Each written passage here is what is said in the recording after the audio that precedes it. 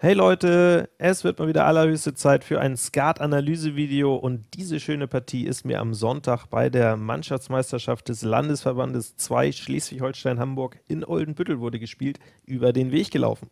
Ich saß konkret nicht in Mittelhand, sondern in Hinterhand und was an diesem Spiel und an dem Verlauf spannend und interessant war, das schauen wir uns gleich an. Vorher möchte ich aber kurz die Gelegenheit nutzen, euch meinen neuen Kooperationspartner genauer vorzustellen. Da oben seht ihr ihn schon, Holy Energy.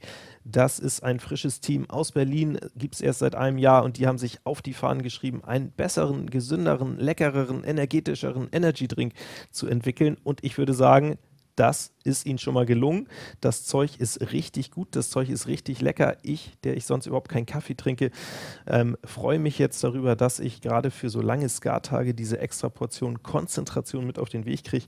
So sieht hier also die große Box aus, aber ich kann euch auch empfehlen, Holt euch erstmal die Probiervariante, vier verschiedene Geschmackssorten. Ich packe euch den Link unten rein und ihr bekommt auch noch von mir einen Gutscheincode oben drauf. Da bekommt ihr 5 Euro Rabatt. Dann ist das Ganze ein echtes Schnäppchen, um euch das, äh, um das mal auszuprobieren. Ich kann es euch wirklich empfehlen. So, Kommen wir jetzt aber zu der Partie. Mittelhand muss ein bisschen was tun, äh, hat 18 gesagt, ähm, wahrscheinlich nicht mal besonders doll gefunden und naja, die Ausgangskarte ist so ein bisschen durchwachsen. Ne? Einerseits 6 Trumpf mit dem Ass zu dritt und einer 10 zu drücken, ja, ganz okay. Andererseits kein Zugbauer, Mittelhand, kein Stück Karo gedrückt, das heißt in Karo sind sehr viele äh, Karten unterwegs, 7 natürlich ganz genau, also schon irgendwie die Gefahr erkennbar, dass hier ein bisschen äh, eine Kürze eintritt und dass möglicherweise nicht mal dieser Stich in Kreuz hochgespielt werden kann. Ja, und äh, die Frage, wie drückt man den? Okay, ganz Verwegene kommt vielleicht auf den Gedanken, Kreuz Dame Lusche zu drücken, aber naja, kannst du das wirklich machen? Sehr wahrscheinlich kommt Klein Karo auf den äh, Tisch und dann bist du doch verraten und verkauft. Klar, du kannst dann auch die Pik Lusche so asynchron abschmeißen, aber auch riskant. Also sehr wahrscheinlich ist es schon äh, die richtige Idee, hier Pik 10 Lusche zu drücken und dann mal zu schauen, was passiert. So ist es auch geschehen und es kam auf den Tisch tatsächlich Pik Ass. So, Alleinspieler muss bedienen. Ist natürlich jetzt schon ein bisschen grummelig, dass er sich tatsächlich entschieden hat, die Pik 10 zu drücken. Von mir hinten die Pik Dame. Dann kam Pik König, gestochen mit dem Trumpf König, ist natürlich wirklich nicht der erhoffte Verlauf für den Alleinspieler.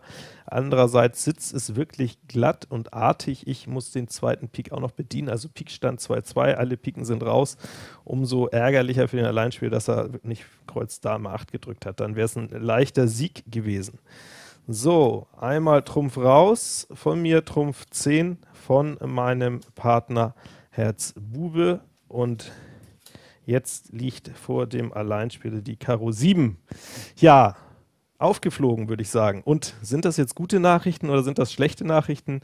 Wie sollte der Alleinspieler fortsetzen? Was sollte er tun? Eure, euer Auftritt.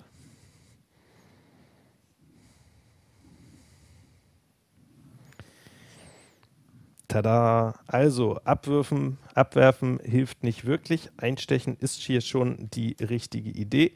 Ansonsten wird hinten ein voller rausgenommen und dann ist immer noch ein Kreuzstich äh, obsolet. Die Frage ist aber, was passiert jetzt? Und jetzt haben wir hier tatsächlich überraschenderweise eine Siegkonstellation für den Alleinspieler und er könnte sogar noch ganz nonchalant Kreuz von unten spielen den Zug würde ich mal so als Walter van Stegen Gedächtniszug hier wieder ähm, betiteln, obwohl der Walter natürlich noch unter den lebenden Wald, aber der hat ja auch immer so diese Coolness, das Ding jetzt noch von unten zu spielen. Ich glaube, üblich wäre zu spielen jetzt Kreuz Ass und dann Kreuz unten raus, denn man muss ja sowieso auf Kreuz 2-2 jetzt gehen. Also, wenn Kreuz Ass gespielt wird, würde übrigens nur Lusche Lusche fallen, Kreuz raus, 10 und König fallen. Danach können die Gegner nicht mit dir Trumpf spielen, denn dann würden sie dir die Kreuz Dame hochspielen. Sie würden dich also wieder zum Stechen in Karo bringen. Beim nächsten Stich kriegst du womöglich immer noch die letzte Karo Lusche und den König. Das ist noch nicht viel, aber dann kommt der Clou, kannst du eben Trumpf rausschubsen und würdest äh, das Spiel gewinnen, wenn danach kein Trumpfabzug erfolgt. Und das wäre nicht erfolgt, denn ich habe hier den Kreuz Buben und so ist es tatsächlich jetzt im Spiel weitergegangen. Herz 9 vom Alleinspieler, von mir der Kreuz Bube, und von meinem Partner die Trumpf-Lusche. Stehen wir jetzt viel schlechter als eben, wenn wir nicht Kreuz oben unten spielen? Interessanterweise schon. Es kam von mir Karo König und mein Partner hat den sogar nicht mal mit der Dame beschwert. Der hat da nur die 9 gelegt, also jetzt ist natürlich Abwurf die beste Option auf nur vier Augen. Und als nächstes kam jetzt tatsächlich Karo 10, Karo Dame. Da hat der Alleinspieler natürlich gesagt, Schnapperchen, den nehme ich und jetzt natürlich die Chance gewittert, Trumpf rausschieben und mit der äh, Kreuz Dame oder mit Kreuz Ass Dame irgendwie die Kreuz 10 jagen. Und ich stand jetzt tatsächlich noch auf, dieser End, auf diesem Endspiel und mein Partner hatte noch den letzten Trumpf und die einfach bestellte Kreuz 10. Und das ist jetzt die interessante Endspielkonstellation aus Gegenspielersicht, die auch nicht so oft auftritt, aber die dann präzise gehandhabt werden muss. Wenn ich wie 10.000 das Karo da rein knistere, dann fällt am Ende die Kreuz 10 zwangsläufig an den Alleinspieler und der gewinnt. Der steht übrigens jetzt auf 45. Wenn ich den Kreuz König rein knistere, dann ähm, kriegt der Alleinspieler sogar beide Reststiche und gewinnt. Ich muss also tatsächlich, und so fit war ich dann auch, Dank Holy Energy.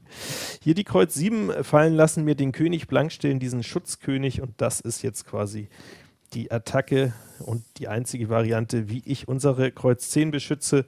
Jetzt kommt Kreuz 9 und der Alleinspieler kann eben nicht mehr an die 10 ran. Er windet sich hier so ein bisschen, hat die 45 gezählt, hat es richtig gemacht. Er geht jetzt mit dem Ass rauf und hofft, dass ich vielleicht dusseligerweise mir die Kreuz 10 blank gestellt habe äh, als Bluff was ja auch noch eine Variante gewesen wäre. Allerdings hätte ich dann natürlich besser das Kreuz Ass durchgeladen und einfach mit den 13 Augen den Sack zugemacht. So schnappt er also hier nur den König und muss gegen unsere 36 Augen liegen am Ende noch diesen Stich abgeben und es senkt sich mal wieder das Beil genau auf 60 Augen. 60 Augen, ja, man ist doch verflucht. Einfach Pik 10 oben halten. Ja, und trotz alledem, dusselig wie das Spiel losging, gab es im Mittelspiel die Siegmöglichkeit. Hättet ihr sie gesehen? Habt ihr sie sofort gesehen? Schreibt es mir gerne mal in die Kommentare. Und damit wünsche ich euch an der Stelle jetzt ein schönes Wochenende, vielleicht auch ein schönes Skat-Wochenende. Bis bald.